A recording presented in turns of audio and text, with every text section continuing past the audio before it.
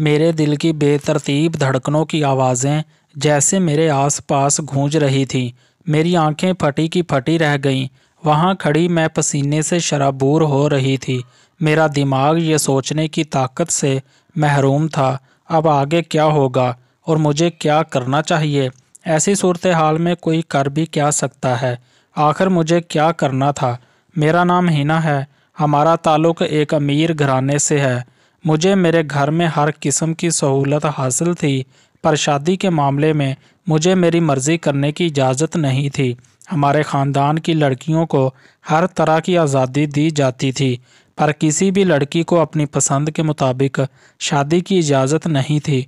मेरी माँ जब 16 साल की हुई थी, तभी इनकी शादी इनसे दुगनी उम्र के मगर एक अमीर तरीन शख्स से कर दी गई, और इनकी माँ ने इनके लिए यही मुनासिब समझा मुझे अपने साथ ये सलूक होने का अंदाज़ा नहीं था। मेरे लिए जब फ़रहाद का रिश्ता आया, मेरी उम्र सोलह साल थी। फ़रहाद मुझसे सतारह साल बड़े थे, पर मेरे घर वालों ने मेरे लिए ये रिश्ता मुनासिब समझा, जबकि मैंने अपनी तरफ़ से एहतजाज भी किया। तुम पागल तो नहीं हो गई, आखिर क्या कमी है फ़रहाद में? अच्छी शक्ल सूरत का है, अमीर है और क्या चाहिए? सिर्फ़ सतारह साल बड़ा है तुमसे। जबकि तुम्हारे पापा मुझसे बाईस साल बड़े थे तो क्या मैंने इनके साथ एक अच्छी ज़िंदगी नहीं गुजारी? क्या मैं इनके साथ खुश नहीं हूँ? मेरी माँ ने मुझसे सवाल किया हाँ आप खुश हैं, फ़र्क सिर्फ़ इतना है, आपकी वो खुशी मुझे आपके चेहरे पर सिर्फ़ पार्टियों में लोगों के सामने दिखाई देती है। हाँ आप मुतमिन हैं, जबकि मैंने आपको रातों को रोते हुए भी सुना है। अगर आप चाहती हैं कि मैं भी आपकी तरह ज़िंदगी गुजारने पर मजबूर हो जाऊँ, तो कबूल कर लें ये रिश्ता और जाएँ और शादी की तैयारी करें। अगर अल्लाह ने मुझे बेटी जैसी नेमत से नवाजा तो मैं इसके साथ ऐसा नहीं करूँगी। जिस तीर से आप खुद घायल हुए वही तीर अपनी औलाद के सीने में उतारना जुल्म है। मैंने रोते हुए कहा मेरी माँ ने दोबारा इस मौजू पर बात नहीं की। मैं भी किस्मत के सामने हार गई। मेरी फरहाद से शादी हो गई। वो मुझे साथ लाहौर ले आए। यहाँ इनका बहुत बड़ा बंगला था। यहाँ हम दोनों के अलावा चंद नौकर ही रहते थे। फरहाद सुबह ऑफ़िस जाते थे और रात को वापस आते। कभी कभार तो कई कई दिन गुजर जाते थे। हम एक दूसरे की शक्ल भी नहीं देख सकते थे। वो मेरे जागने से पहले चले जाते और सोने के बाद आते। हमारी उम्र के फ़र्क ने हमारे बीच में एक गहरा शगाफ डाला था, जो सब मैं करना चाहती थी इनके नज़दीक बचपना था। डिनर पर जाना, साथ बैठकर खाना या कोई फ़िल्म देखना, वो कहते, ये सब काम मैं इनके बिना भी कर सकती हूँ। इनके साथ इनकी बोरंग बिज़नेस पार्टीज़ में जाना मुझे पसंद नहीं था। जहाँ लोग एक दूसरे का बाजू थामे यह साबित करने की कोशिश करते हैं कि वो सब खुश हैं। घर जाते ही एक दूसरे से मुँह फेर कर ऐसे सो जाते हैं। जैसे एक दूसरे को जानते तक ना हो। अब तो फरहाद ने कारोबार के सिलसिले में शहर से बाहर जाना भी शुरू कर दिया था। ऐसे में मैं और अकेलापन महसूस करती। मुझे तन्हाई पसंद नहीं थी। तन्हाई से वहशत हुई। एक बार मैंने मामा से बात कर डाली। आखिर बेटी माँ से दिल की बात ना करती तो किस से कहती? मामा ने कहा, फ़िक्र न करो, औलाद हो जाएगी तो सब ठीक हो जाएगा। तुम्हारे पापा भी फरहाद जैसे थे। माँ ने मुझे तसल्ली दी थी। मैं भी अपनी औलाद का इंतज़ार करने लगी। मेरी शादी को आठ माह हो गए, मगर मैं उम्मीद से ना हुई। मैं डॉक्टर के पास गई, चेकअप करवाया। डॉक्टर ने मेरे टेस्ट किए। अगले दिन मुझे दोबारा बुलाया। यह खबर सुनाकर इसने मुझे हमेशा के लिए मायूस कर दिया कि मैं कभी माँ नहीं बन सकती। औलाद औरत के लिए सबसे बड़ी नेमत होती है। औलाद का ना होना औरत के लिए बड़े दुख की बात होती है। मुझे यह खुशी कभी नहीं मिलेगी। यह सोचकर ही मेरा दिल हिल जाता। इस दिन के बाद से जैसे मुझे चुप लग गई। एक बार फिर किस्मत के आगे हार गई थी। वो सारी रात मैंने रोते हुए गुजारी, मगर मैंने दिल में फ़ैसला कर लिया कि मैं ये बात फरहाद को कभी नहीं बताऊँगी, क्योंकि हम इतने मज़बूत रिश्ते में नहीं बंधे थे कि वो इतना बड़ा झटका बर्दाश्त करते। फिर वो मुझसे मुँह मोड़ लेते तो मैं कहाँ जाती? अब तो तन्हाई मुझे और भी डराने लगी। मैं बहुत उदास रही। बिला आखिर इन्होंने मेरा एहसास किया। एक फैमिली को हमारे घर में गेस्ट के तौर पर ऊपर वाले पोर्शन में रहने के लिए बुलाया। वो कुल तीन लोग थे। एक बूढ़े अंकल आंटी और एक इनका बेटा। ये लोग फरहाद के वाकफ़ और बहुत अच्छे थे। अंकल आंटी ने मोहब्बत की शादी की थी। मैं जब उदास होती, इनके पास चली जाती। इनकी मोहब्बत के किस्से सुना करती। वो खुद बूढ़े थे, पर इनकी मोहब्बत जवान थी। मेरी और फरहाद की शादी को अभी एक साल भी नहीं हुआ था। लगता था कि हमने सदियाँ एक साथ जी ली हैं और दोनों ही बूढ़े हो गए हैं। इनका बेटा अली मेरा हम उम्र था। कभी कभी इससे सलाम दुआ हो जाती। वो बहुत खूबसूरत, पुरकशिश शख्सियत का मालिक था। मैट्रिक का स्टूडेंट था। मैंने अक्सर इसे पढ़ते हुए ही देखा था। शायद शाम में कोई कंप्यूटर कोर्स करने जाता था। अक्सर मुझसे अपनी और पढ़ाई के बारे में बात कर लेता। एक बार अंकल आंटी को हज के लिए जाना था। इन्होंने मुझसे दरख्वास्त की कि मैं अली के लिए खाने पीने का ख्याल रखूँ तो मेहरबानी होगी। मैंने कह दिया कि इनको फ़िक्र करने की ज़रूरत नहीं है। आखिर खाना नौकर ही बनाते हैं तो जहाँ दो लोगों का खाना बनता है वहाँ तीन का भी बन जाएगा। ये लोग हज के लिए रवाना हो गए। अगले ही दिन फरहाद भी काम के सिलसिले में पंद्रह दिन के लिए कराची चले गए। अब घर में ज़्यादातर मैं और अली होते। एक शाम शायद वो कंप्यूटर एकेडमी से वापस आया।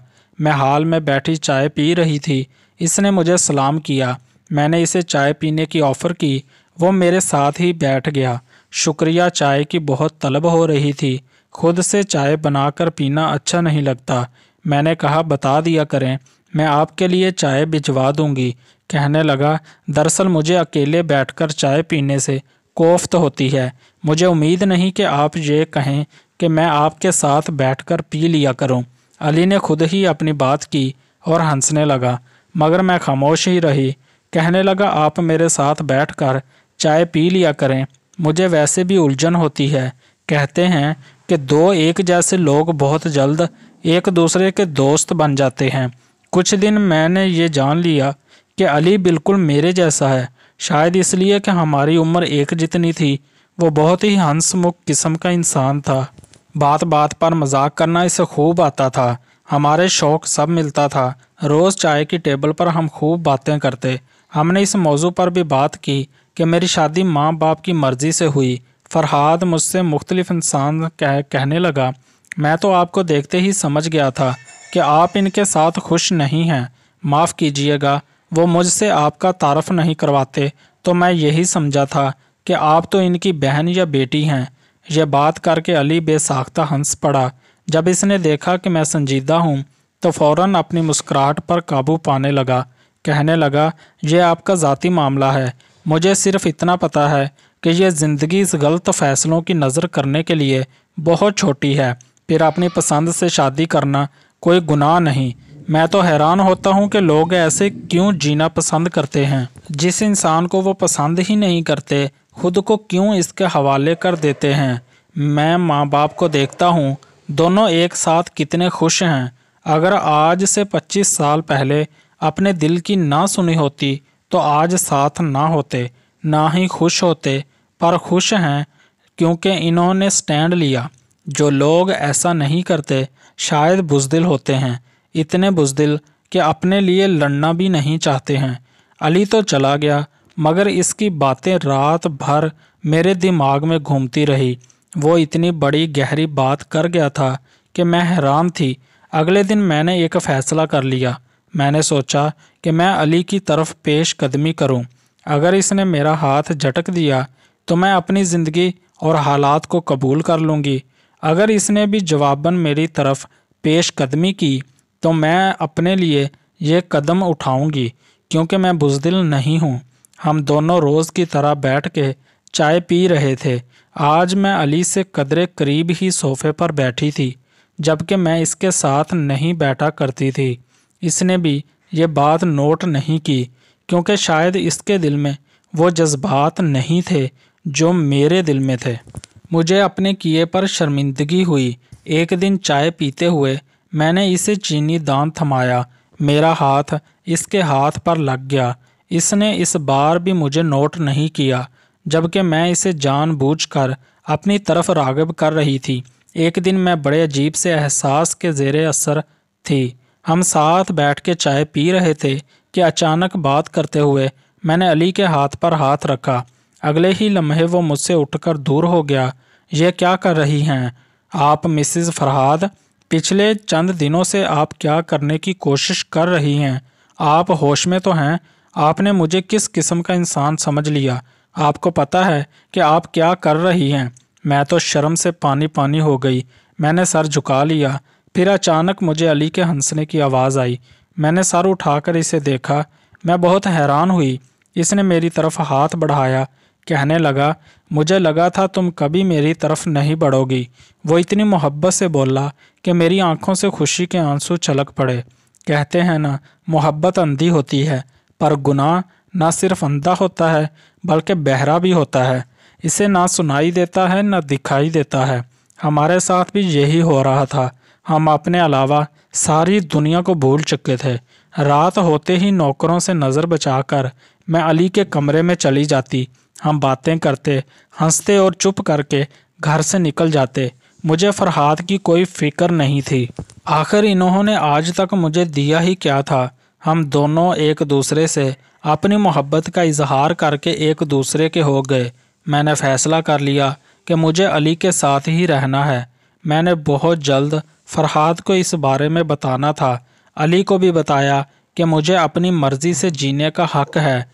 तुम मेरी मोहब्बत हो, बस तुम्हें मेरा साथ देना होगा। अली ने कहा, मैं हमेशा तुम्हारे साथ हूँ। मैंने एक तुम्हारे लिए खूबसूरत तोहफ़ा प्लान किया है। कल शाम तुम मेरे घर आना। ठीक आधे घंटे बाद तुम मेरे कमरे में चली आना। मुझे यकीन है यह तुम्हारी ज़िंदगी का सबसे बड़ा तोहफ़ा होगा, जिसे तुम कभी भूल नहीं सकोगी। अली की बात से मैं खुश हो गई। अगले दिन अली घर आ गया। एक आधे घंटे बाद मैं अली के कमरे में गई। मैं बहुत अच्छे से तरीके से तैयार हुई थी। मैं जब अंदर गई तो अली टीवी के सामने खड़ा था। मुझे मोहब्बत भरी निगाहों से देख रहा था। कहने लगा, अपनी आँखें बंद करो, और जब तक मैं ना कहूँ, आँखें ना खोलना। मैंने ऐसा ही किया। शायद अली ने टीवी ऑन किया था। कोई फ़िल्म लगाई थी। इसकी आवाज़ पर मैं चौंक कर आँखें खोलने लगी। फ़र्क सिर्फ़ इतना था कि मेरी मुस्कुराहट उड़ गई, जबकि अली के चेहरे पर शैतानी मुस्कुराहट थी, जिसे देखकर मेरा दिमाग माउफ होने लगा। मेरी आँखों के आगे अंधेरा छा गया। ये वो वीडियो थी जो मुझे बर्बाद करने के लिए काफ़ी थी। कैसा लगा तुम्हें मेरा ये तोहफ़ा? अरे तुम रोने क्यों लगी? देखो हम साथ कितने अच्छे लग रहे हैं। क्या ख्याल है? ये वीडियो तो तूफ़ान है। वो तूफ़ान जो तुम्हारी ज़िंदगी बर्बाद कर देगी। अली, तुमने मेरी वीडियो बनाई थी। तुम मुझसे मोहब्बत नहीं करते। कहने लगा, मेरी बात गौर से सुनो। अगर तुम चाहती हो कि मैं तुम्हारी ये वीडियो तुम्हारे शोहर को ना दिखाऊँ तो हर माँ मुझे मुँह मांगी की रकम देना। इसके अलावा, तुम भी रोज़ मेरे कमरे में आओगी, जैसे अब तक आ रही हो। अब मैं तुमसे ये नहीं पूछूँगा कि तुम्हें यह सब मंजूर है या नहीं। मुझे नहीं लगता तुम्हारे पास कोई और रास्ता है। अली हंसने लगा। तुमने मुझे धोखा दिया। क्या वो सब झूठ था? तुम पहले दिन से ही मेरे साथ खेल खेल रहे थे। मैं बामुश्किल इतना बोली हाँ और क्या हम जैसे लोग मरते हैं ऐसी आसाइशों के लिए जिनमें रहकर भी तुम खुश नहीं हो? तुम तो मेरे हाथ आई सोने की चिड़िया हो। मोहब्बत क्या है? इससे हम जैसों को क्या फ़र्क पड़ता है? हमें तो अपनी ज़रूरतें और ख्वाब पूरे करने हैं। आज से तुम वही करोगी जो मैं तुम्हें कहूँगा। मेरी ज़िंदगी अली की ग़ुलाम बन गई। हर माँ मुझसे लाखों रुपए भी लेता और मुझे गुनाह पर भी मजबूर करता। वक्त के साथ मुझे पता चला कि वो बूढ़े अंकल अली के माँ बाप नहीं थे, बल्कि इस खेल में इसके मददगार थे। वो किसी बैंक में नौकरी नहीं करता था। जब फरहाद घर आते तो अली ऐसे पेश आता जैसे इसने कभी मुझसे बात ही ना की हो। इनके जाते ही वो अपना असली रंग दिखाता। यूँ ही छः माह गुजर गए। मुझे अपने वजूद से नफ़रत हो गई। इससे बेहतर तो पहले वाली ज़िंदगी थी। मैं खुद से नज़रें मिलाने के काबिल भी नहीं रही। क्या ये सब यूँ ही चलता रहना था? कौन था जिसने ये सब रोकना था? कभी सोचती कि अपनी जान दे दूँ, कभी सोचती कि फरहाद को सब कुछ बता दूँ। एक बार अपनी माँ को सब कुछ बताने का सोचा और मेरी हिम्मत ना हुई। बिला आखिर मैंने अपने शोहर को सब कुछ बता दिया। मैंने कहा, मुझे माफ़ कर दें। मैं बहक गई थी। मेरे नफ्स ने मुझे अपना ग़ुलाम बना लिया था। मुझे सिर्फ़ मोहब्बत चाहिए थी, तवज्जो चाहिए थी। आपका वक्त चाहिए था, जो कभी नहीं मिला। मैंने आपसे एक और झूठ भी बोला कि मैं कभी माँ नहीं बन सकती। ये बात आपसे इसलिए छुपाई क्योंकि मुझे लगा, आपको इस बात से भी कोई फ़र्क नहीं पड़ेगा। आप मुझे जो चाहें सज़ा दें, मुझे कबूल है।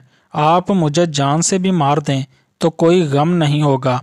मैंने फूट फूट कर रोते हुए अपने जुर्म का एतराफ़ कर लिया। इस दिन मैंने खुद को बहुत छोटा महसूस किया। मैं फरहाद से नज़रें नहीं मिला पा रही थी। वो उठे और मेरी तरफ़ बढ़े। मैं बहुत घबरा गई। खौफ से काँप रही थी। फरहाद से नज़रें नहीं मिला पा रही थी। कहने लगे अब तुम इस आदमी के पास नहीं जाओगी, ना ही इससे बात करोगी, मैं सब संभाल लूँगा। मगर ये मत समझना कि मैंने तुम्हें माफ़ कर दिया। तुम्हारा फ़ैसला मैं बाद में करूँगा, और तुम्हें वो फ़ैसला मानना पड़ेगा। फ़रहाद ने इसके अलावा कुछ नहीं कहा। अगले दिन फ़रहाद रात को घर नहीं आए। अली ने मुझे कॉल करके बुलाना चाहा, मगर मैं कॉल नहीं उठा रही थी। वो बार बार मुझे कॉल करता रहा। बिला आखिर गुस्से में मेरे कमरे तक आ गया। मुझे ज़बरदस्ती अपने साथ ले जाने लगा कि अचानक वहाँ पुलिस आ गई। इसे रंगे हाथों पकड़ लिया। फरहाद ने पुलिस को बताया कि इस शख्स ने मेरी बीवी की इज़्ज़त पर हाथ डालने की कोशिश की है। अली पुलिस को मतलूब था, वो पहले भी कई ऐसी लड़कियों को बेवकूफ़ बनाकर लूट चुका था। पुलिस ने अली और इसकी नकली फैमिली को भी पकड़ लिया। एसएचओ फरहाद का वाकफकार था। इसने अली से मेरी वीडियो लेकर तलफ कर दी और यकीन दिलाया कि इसकी और कोई कॉपी नहीं है। फरहाद ने मुझसे बातचीत बंद रखी। एक दिन इन्होंने मेरा सामान पैक कर दिया। मुझे मेरे घर छोड़ने के लिए ले जाने लगे। मेरे पास भी ये हक कहाँ था कि मैं इनसे माफ़ी मांगती? वो मुझे क्यों कर माफ़ करते? मैं सर झुकाए बैठी थी। तुमसे बहुत बड़ी गलती हुई। गलती नहीं, गुनाह किया है। तुमने पर इसमें मेरी गलती भी थी कि मैंने तुम पर तवज्जो नहीं दी। तुम्हारे पास छः माह का वक्त है। तुम अपनी माँ के घर रहो। इनसे मैं कह दूँगा कि मैं मुल्क से बाहर जा रहा हूँ। इसलिए तुम्हें वहाँ छोड़ रहा हूँ। तुम सोच लो, तुम्हें क्या करना है? अगर मेरे साथ रहना है तो सब भूल कर आ जाना। अगर नहीं तो बता देना। तलाक नामा मिल जाएगा। फरहाद ने सामने देखते हुए कहा, मैंने कहा मैं इस काबिल नहीं हूँ, फरहाद, खुद को माफ़ करने की कोशिश करो।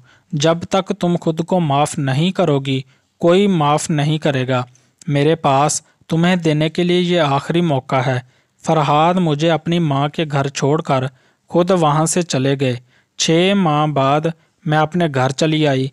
तब से आज फरहाद ने कभी इसका ज़िक्र तक नहीं किया। मैंने फरहाद को कितना गलत समझा पर वो कितने अच्छे इंसान थे। नफ्स के रास्तों पर सिर्फ़ बर्बादी ही आपकी मुंतज़र है। पाक रिश्ते जैसे भी हों, वो आपके लिए ठीक होते हैं। आज मैं अपने शोहर के साथ बहुत खुश हूँ। आपको अगर ये कहानी अच्छी लगी है तो इस वीडियो को लाइक ज़रूर कीजिएगा और कमेंट बॉक्स में अपनी राय का इजहार ज़रूर कीजिएगा और हमारे चैनल को भी ज़रूर सब्सक्राइब कर लें। शुक्रिया।